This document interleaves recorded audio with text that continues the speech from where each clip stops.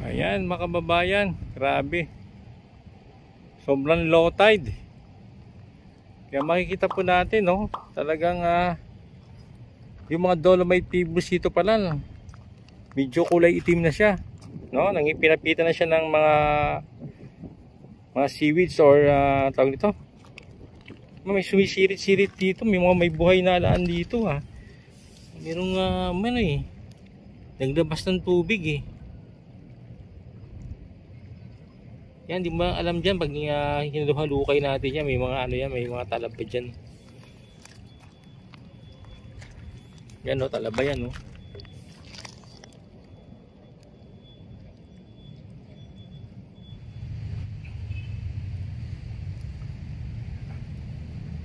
Yan, magandang araw mga kababayan.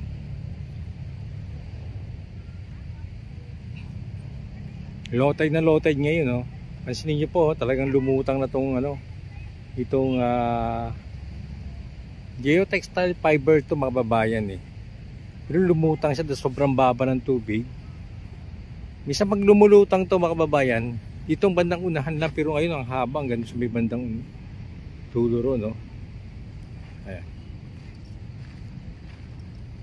Pati ito, no? kita po natin. Para siyang bato, no? Para siyang uh, rock formation. Ito yung mga rock formation sa may uh, kuron eh. Para siyang bato, pero kulay puti naman siya. Kahit na ano, bato siya, kulay puti. Daming namatay na ano na tahong. Yan oh. Mga maliliit na tahong na namatay. Yung huling update natin nagkaroon ng low tide din mga kababayan. Ang dami din nakitang seaweeds dito. Yan sa mga viewers ko nga nag-comment sila. Seaweeds pala nakakain pala yun. Kasi maraming klase daw yung seaweeds. At yung uh, pinakita ting seaweeds na para siyang uh, pansit, no? Na kulay brown, yun daw ay nakakain. Kaya makikita natin mga kababayan, no? Talagang uh, lapad at talagang sobra, sobra talaga yung pagka low tide ngayon. Sobrang baba talaga.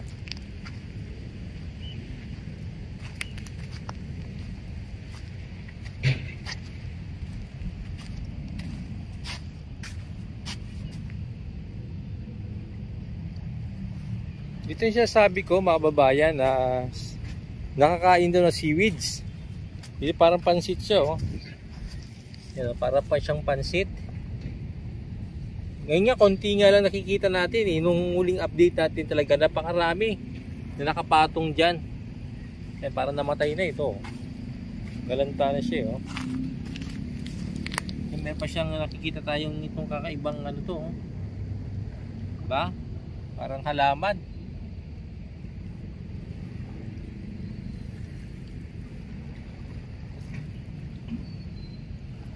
Yung mga pag hindi siya low tide mga nakikita hindi natin nakikita. Nakikita ngayon natin dahil nga low tide no? Kung yung ilalim ng dagat. Yan meron siyang uh, tayong nakikita nga to para siyang putik. No, parang putik to. Pero ano to mababayan eh. Parang lumot siya parang seaweeds din siya eh or uh, nabulok na water lily na durog na. Ikutin na natin tong ano habang uh, low tide. Kasi pag uh, mataas na yung tubig dito makikita na to eh. diba? Dito makikita na to. Ano? Puting puti ito yung, yung tatapakan natin itong kinukuha natin ang camera na to. Ito yung geotextile fiber na to. Kulay puti ito mga babayan puting puti ito pero dahil nga nakapitan na ng lumot at mga seaweeds, dito na naging kulay niya. Yan, may, meron tayo nakikita pa rito. Yan, oh. katusok. Oh. Pag high tide, hindi natin nakikita itong parang tubo na to eh. Pero ngayon nakikita natin, oh.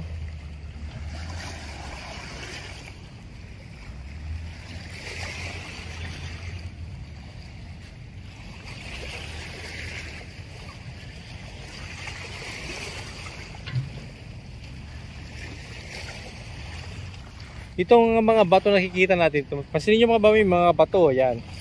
May mga bato yan. Kasi nung dinata kasi yung geotextile dito sa may uh, tubig dagat, Nilagyan ng ano yan, mga ito, ganito mga bags na to, yan. Mga sandbags na yan. Nilagyan yan, tsaka itong mga bato na to para hindi lumutang yung ano, hindi lumutang yung yung ato, yung uh, geotextile fiber. Kaya kung mapansin nyo, may mga bags tayo nakikita rito. Yan po yung purpose niyan. Yan may mga sandbags oh. Tsaka mga bato. Yan may tali pa nga oh. Yan, tinalian para hindi siya kumalas.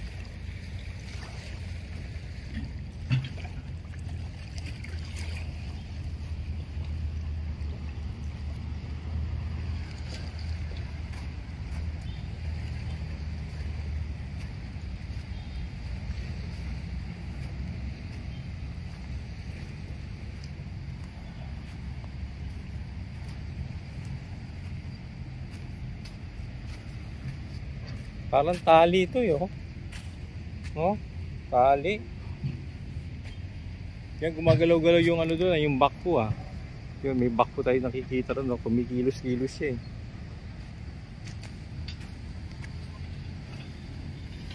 May moon pa.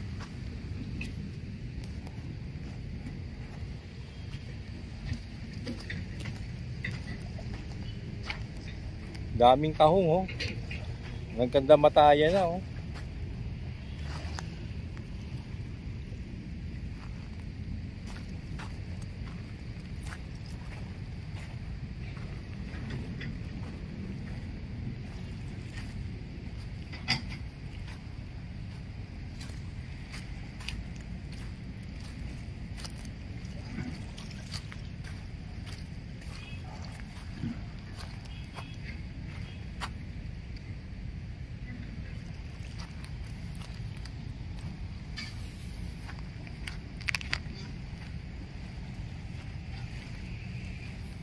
Yan, silipin nga natin itong area ng pastry.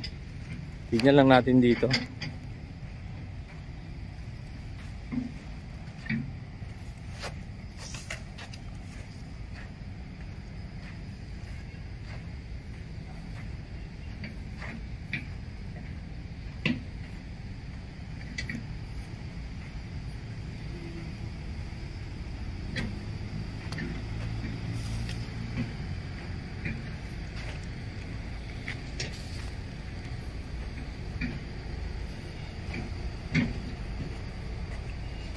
Yan, ito po yung area ng pastry.